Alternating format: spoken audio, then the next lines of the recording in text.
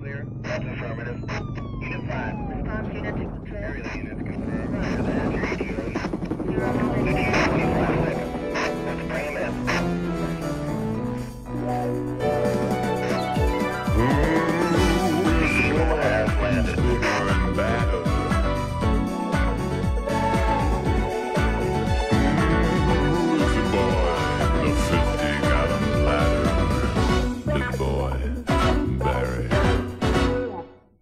So anyway, I've got these tickets for Samantha's, and we can have like a bath afterwards or something. What are you ready? Shove off! I'm not interested.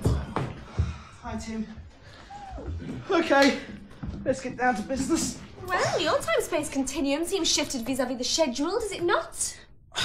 Are you speaking Klingon or something? You're late! And so would you be after the night I've had. Hey, I've had quite a night too. I was down the hacienda with these twins, and oh, Shut up! I was opening Fat Frankie's Flat Fish-O-Rama last night and I was there till 3 a.m. What were you doing until that hour? Eating fish. Well, it was all you could eat for a fiver. The lady manager offered to show me her case of crabs, but I declined. But it's had to close down since then.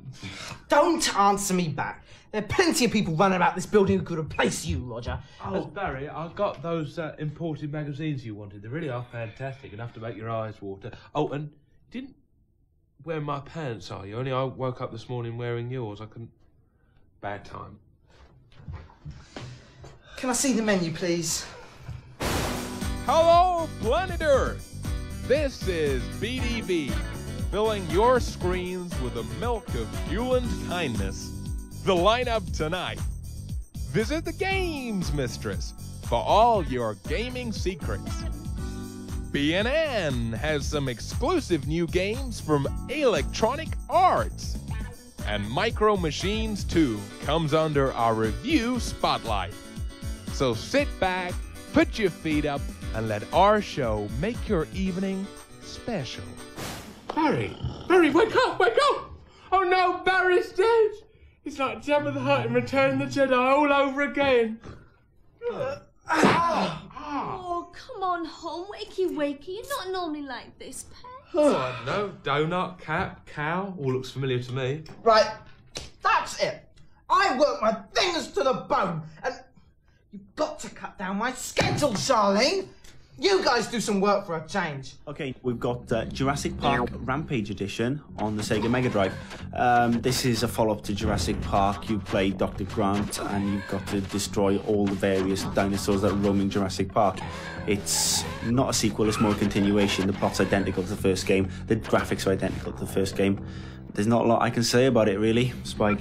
Well, there's quite a lot I can see. I mean, I smell a cash in here. Is there a sequel in the cinemas? No.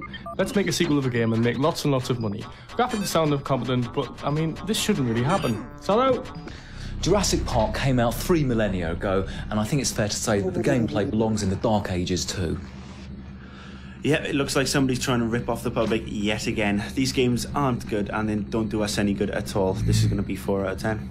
I'll give it three. Prehistoric. Primeval, four out of ten. Right, now we've got a bit of a rarity. We've decided to actually review an Amiga game for a change. Yep, don't laugh. It's All New Worlds of Lemmings by Psygnosis, and it's the umpteenth installment in the Lemmings saga. This time, the little horrors have decided to go to a lovely paradise desert island sort of place. And what they do when they get there? They decide to kill themselves. Logic or what? I didn't like this game. I found the first lot boring, and it's now getting really repetitive. Spike. Well, there is a bit of a design flaw with lemmings. I mean, it's more fun to kill them all off than actually complete the level. And that's not really on in the game now, is it?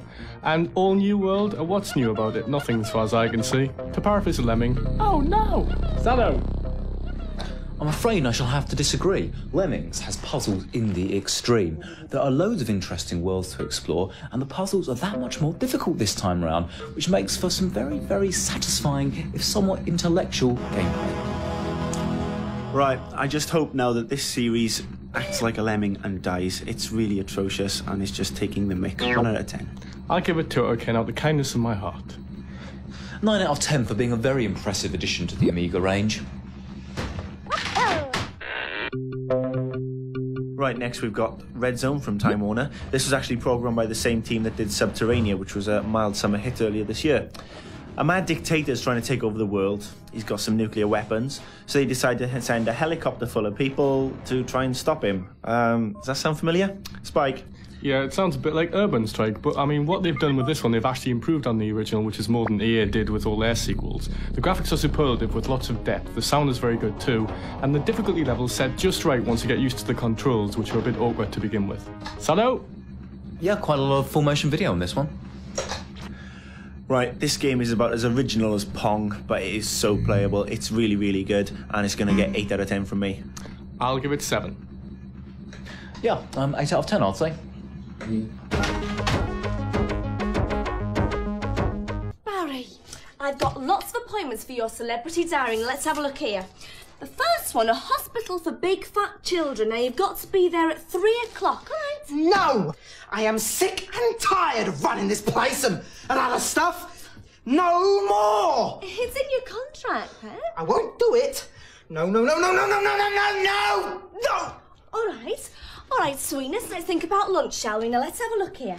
How about an Indian or um, Ethiopian? Right, now, Char- de- Charlene, look.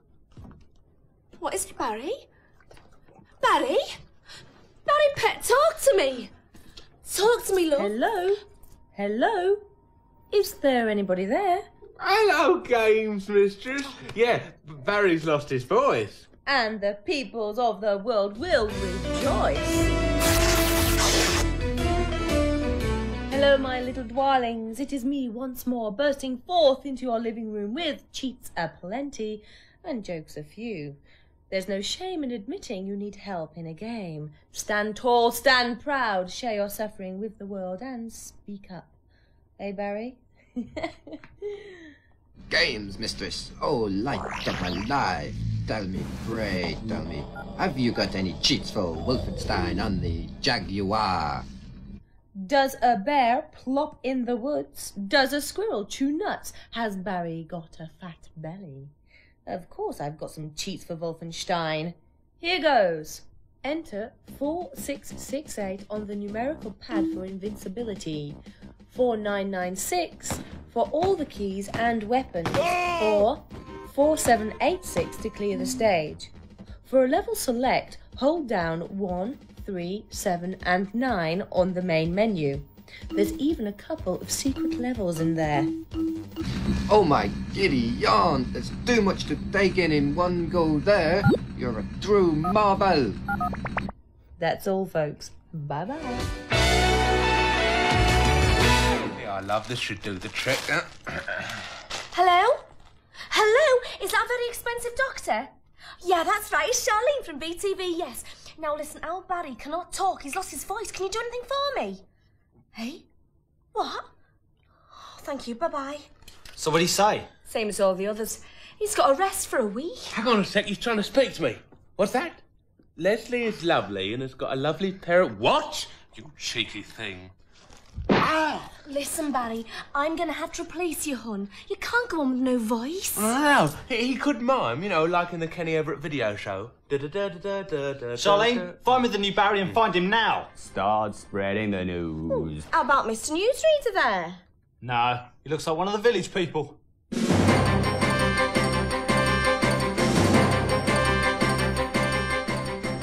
Good evening. This is BNN, the news network that pulls no punches. I'm Roger Ross. Step into the squared circle and go 12 rounds with me. BNN has popped its head round the doors of Electronic Arts UK headquarters to see what's in the pipeline. January sees the release of the next installment in the Road Rash series, Road Rash 3. The game goes international as the player races and fights his way across seven locations, including Japan, Australia, and even Old Blighty. Players can now steal their opponent's bikes, the opponent's Amina, and the police now employ helicopters to pursue bikers. EA will also shortly be releasing Operation Jumpgate, an add-on game for their 3DO title, Shockwave. Next up, Panto Hilarity with Frank Bruno as Widow Twankey. Know what I mean, Barry?